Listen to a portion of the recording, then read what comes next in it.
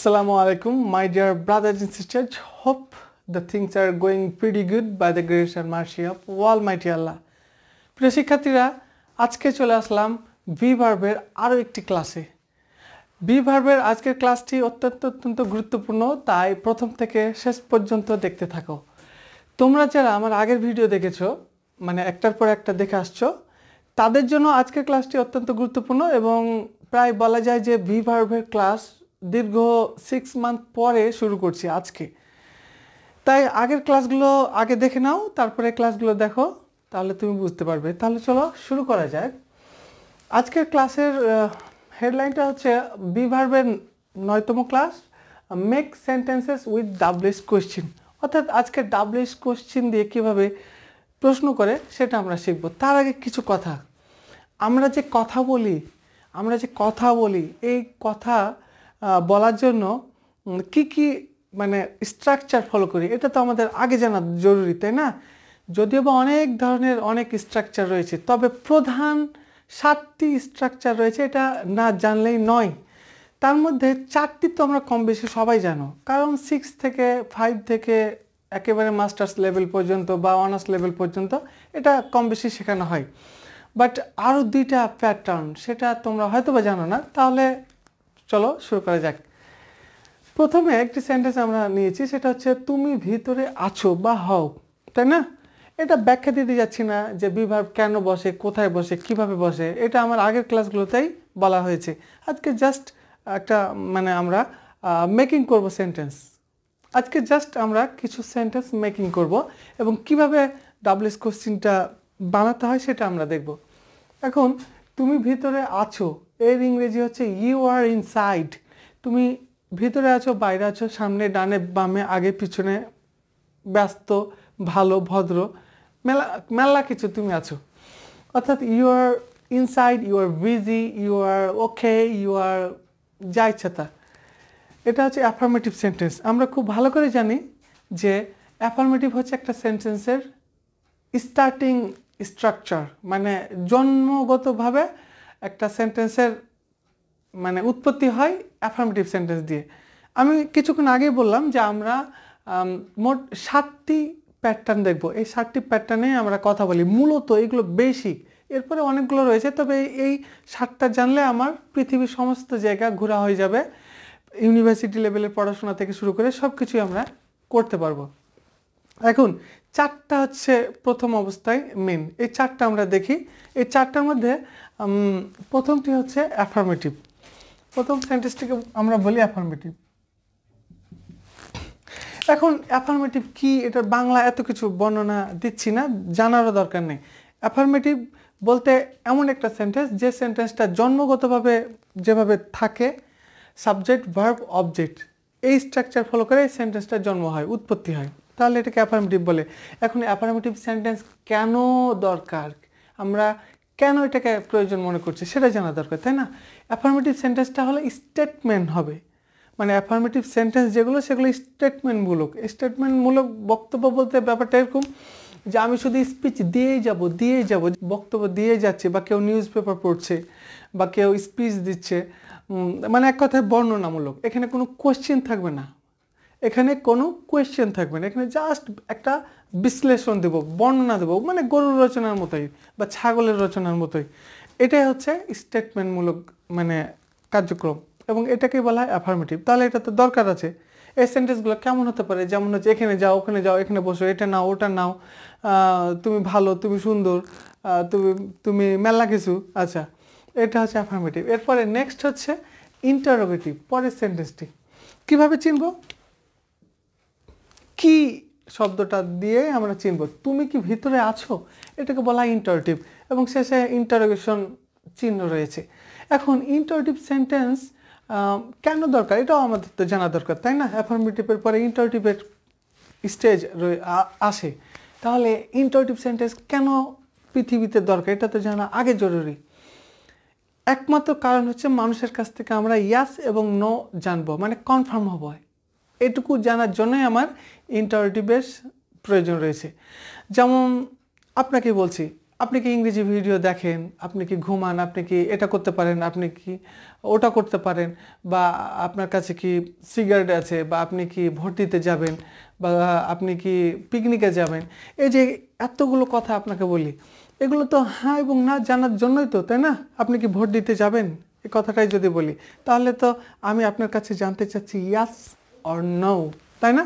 তাহলে পৃথিবীতে যতগুলো ইন্টারটিভ সেন্টেন্স রয়েছে, সবগুলোই আমরা ব্যবহার করি ইয়াস এবং নো জানার জন্য। দ্যাটস ইট এটা কিন্তু মনে রাখতে হবে আমাদের, স্মরণ রাখতে হবে। তাহলে এটা আমরা কীভাবে তৈরি করি?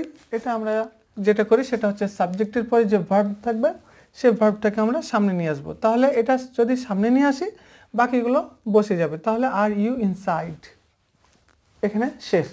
এবার নেক্সট নেক্সট তিন নম্বর হচ্ছে তুমি ভিতরে নেই। এটা এটা নেগেটিভ সেন্টেন্স কীভাবে বুঝব? না দেখেই বুঝব। না। মানে নেই বা হও না, একই কথা। তুমি ভিতরে নেই বা তুমি ভিতরে হও না, বিষয়টা একই। আচ্ছা এখন এখানে এটা করার জন্য কি করেছি আমি? ইউ মানে এই পুরো সেন্টেন্সটা এখানে লেখার পরে আর এর সাথে নট বসিয়েছি। এখানে এম ইজ আর যেটাই বসুক না কেন ভার্ব সেটার সাথেই নট বসবে, যদি নেগেটিভ করতে যাই। তাহলে এটা নেগেটিভ করা আমার হয়ে গেল। এখন এই নেগেটিভ সেন্টেন্সগুলো কেন দরকার পৃথিবীতে? এটা নিশ্চয়ই আপনারা বুঝতে পারছেন যে এটা দরকার যে আমি যাব না, খাব না, আপনি করবেন না, আপনি ভোট দিতে যাবেন না, আপনি নির্বাচন করবেন না আপনি ভালো না, আপনি ব্যস্ত না, আপনি সুন্দর না মেয়েটা বিবাহিত না, এভাবে যতগুলো না আমি করতে চাই, সেগুলোতে আমাকে নেগেটিভ ব্যবহার করতে হবে। তাহলে এটা নেগেটিভ সেন্টেন্স এটাও আমাদের জানা খুবই জরুরি। নেক্সট আমরা এটা নেগেটিভ লিখে ফেলি। এটা হচ্ছে আইএনটি এটা হচ্ছে এন ই জি নেক্সট হচ্ছে, তুমি কি ভিতরে নেই? মানে তুমি কি ভিতরে নেই?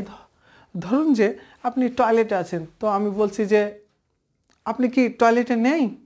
বা আপনি কি অফিসে নেই? এই কথাগুলো যখন বলব, কি এবং না দুটোই আসবে এটাতে, কি এবং না, দুটোই যখন আসবে। বা আমরা যদি কাউকে বলি যে, এই, তুমি কি নিষাদ না?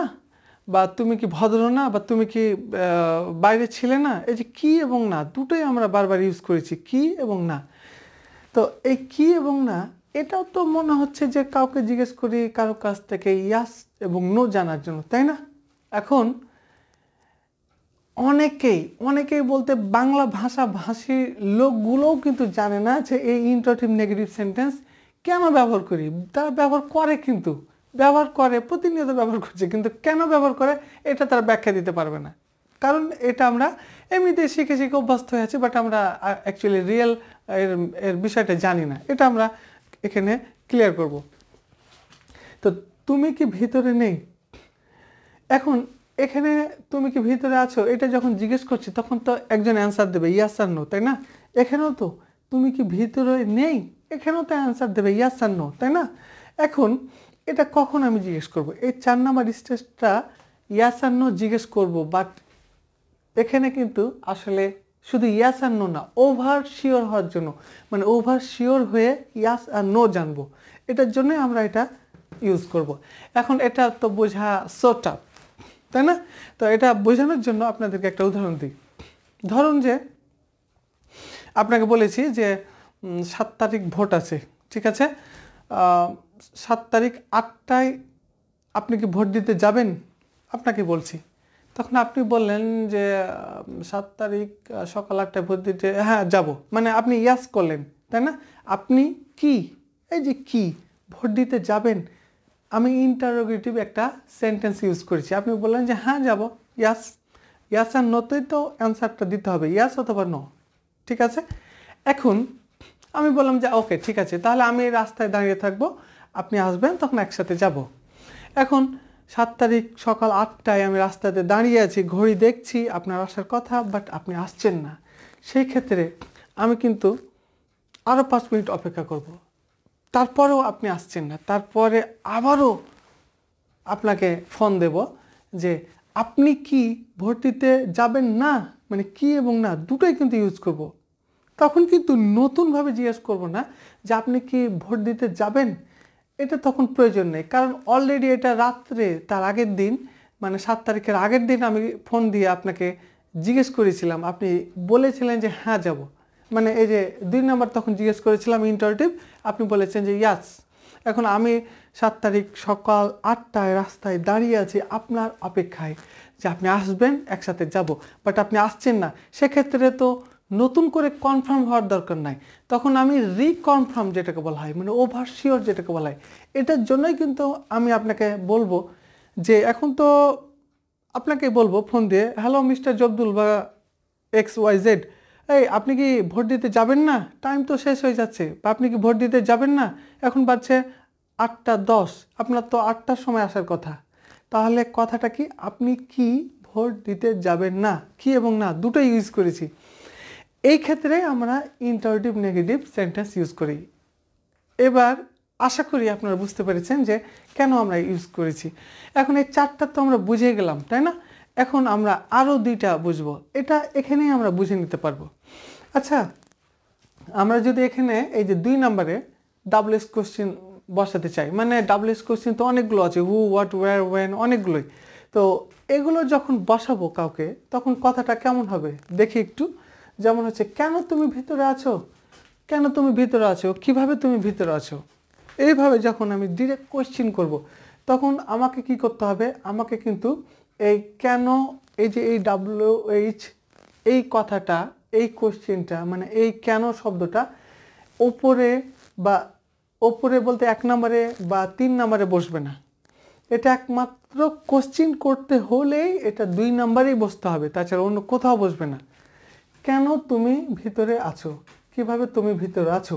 এখন জাস্ট কেন এবং কীভাবে ইংরেজি বসিয়ে দিলেই আমার ইংরেজিটা হয়ে গেল। জাস্ট জাস্ট আমরা এখানে যেটা করতে পারি সেটা হচ্ছে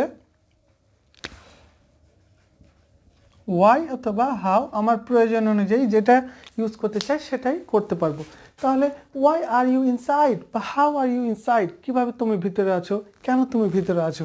আমার হয়ে গেল। এখানে ইচ্ছে করলে আরও ইচ্ছে মতো আমি ডাব্লিউএস কোশ্চেন বসাতে পারি। তাহলে এটা হচ্ছে কি? ছয় নম্বর স্টেজ যেটা আমরা এইখানে পাঁচ নাম্বার স্টেজ আমরা এখানে শিখব। তাহলে পাঁচ নাম্বারটা আমরা এখানে পরবর্তীতে শিখব। এখন আরেকটি প্রশ্ন আমাদের আসতে পারে যে, কেন তুমি ভিতরে নেই? মানে তোমার তো ভিতরে থাকার কথা, তোমাকে ফোন দিয়েছি, বলছো যে আমি মিছিলে আছি। তখন আমি বলছি যে, কেন তুমি ভিতরে নেই? তো নেগেটিভ ইউজ হয়ে গেল। একে তো প্রশ্ন করছি, তারপরে আবার এটা নেগেটিভ হয়ে গেল। তো প্রশ্ন নেগেটিভ আর এবং নেগেটিভ একসাথে যদি কাজ করে, তাহলে চার নম্বরে হতে হবে। তাহলে কি? একই কথা ওয়াই আর ইউ ইনসাইড এখানে জাস্ট নট বসানোর জন্য আর নট বসবে। তাহলে আমার এটার সাথেই ম্যাচ করে। এই চার নাম্বারটা হচ্ছে ইন্টারটিভ নেগেটিভ জাস্ট এখানে ওয়াই আন্ট ইউ ইনসাইড এখানে কোনো কিছুই চেঞ্জ করতে হবে না। সেম সেম টু সেম যা আছে সেটাই থাকবে। জাস্ট আমরা ডাবলএস কোশ্চেনগুলোকে দুই নম্বরে এবং চার নম্বরে বসাবো আমরা আমাদের প্রয়োজনে। এটাকে আরেকটু ক্লিয়ারভাবে বুঝতে চাই এখানে। যেমন হচ্ছে কেন তুমি ভিতরে আছো? জাস্ট ডিরেক্টলি কোয়েশ্চেন করেছি। তাহলে কেন তো বসাবোই? যেহেতু সেটাতে কোয়েশ্চেন করছি। আর তুমি ভিতরে আছো, এই ইংলিশটা হচ্ছে ইউ আর ইনসাইড তাই না? ইউ আর ইনসাইড কিন্তু এটা কি? অ্যাফার্মেটিভ আমরা যখনই কোনো কোয়েশ্চেন করব, প্রশ্ন করব মানে ডাবলিস কোয়েশ্চেন বসাবো, তখন অবশ্যই এই সেন্টেন্সটা মানে এই সেন্টেন্সটা ইন্টারভিউটিভ হতে হবে, নইলে কখনোই সেটা কোয়েশ্চেনই হবে না। সেটা অন্যরকম হয়ে যাবে। যদি আমরা এই এটা বসিয়ে দিই মানে অ্যাফার্মেটিভ বসাই the why you are inside তাহলে সেটার অর্থ অন্য হয়ে যাবে। আমরা যেহেতু কোয়েশ্চেন করছি কিছু জানার জন্য, সেক্ষেত্রে আমাকে ইন্টারোগেটিভই বসাতে হবে। ওয়াই একটা ইন্টারোগেটিভ মানে ওয়ার্ড তাই আমাদের পুরো সেন্টেন্সটা ইন্টারোগেটিভ হতে হবে। স্মরণ রাখতে হবে বিষয়টা। যেমন আমরা যদি শার্ট টাই কোট পরি তাহলে নিশ্চয়ই আমাদেরকে প্যান্টও পরতে হবে শুও পরতে হবে। কিন্তু আমরা যদি প্যান্ট আর শুয়ের পরিবর্তে লুঙ্গি অথবা স্যান্ডেল পরি, তাহলে কি হবে? কখনোই হবে না। তাহলে এটা স্মরণ রাখতে হবে, যেহেতু ডাব্লিউএস কোশ্চেন দিয়ে আমরা কোশ্চেন করি, তাই ইন্টারোগেটিভ সেন্টেন্সটাই বসবে। তার মানে দুই নম্বর সেন্টেন্স যেটা, এই যে দুই নম্বর সেন্টেন্স এটাই বসতে হবে।